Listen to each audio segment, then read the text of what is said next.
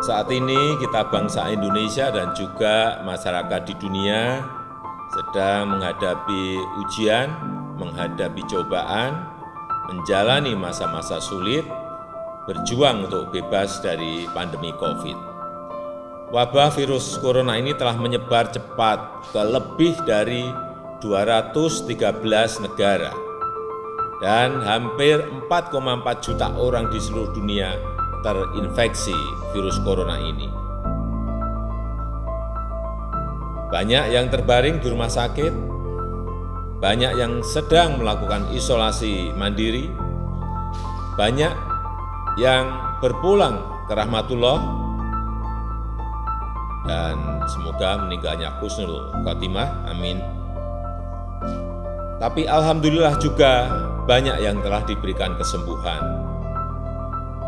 Dalam menghadapi kesulitan ini kita tidak boleh pesimis, tidak boleh putus asa.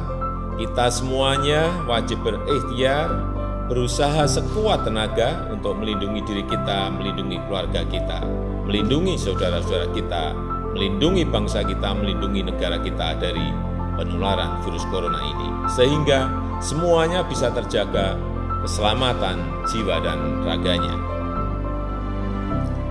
Untuk bisa selamat, kita harus disiplin, harus berdisiplin. Disiplin dalam menjaga kesehatan, disiplin dalam meningkatkan imunitas, disiplin untuk cuci tangan memakai sabun, disiplin untuk menjaga jarak yang aman, disiplin untuk memakai masker, disiplin untuk tidak mudik, disiplin bekerja di rumah, disiplin sekolah dari rumah, dan disiplin beribadah di rumah.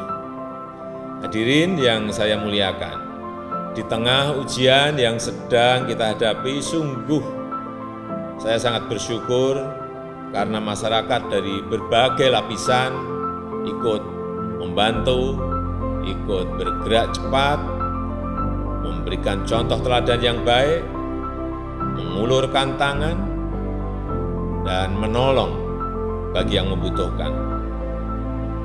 Solidaritas sosial dan kepedulian tumbuh di mana-mana.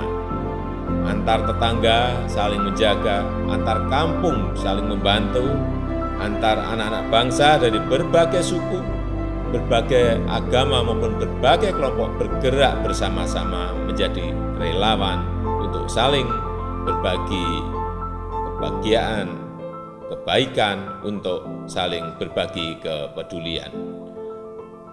Bangkitnya rasa kemanusiaan, bangkitnya rasa persaudaraan, dan bangkitnya rasa persatuan dari segala penjuru adalah sebuah kekuatan maha besar yang menambah keyakinan saya bahwa musibah ini insya Allah akan mampu kita atasi bersama-sama.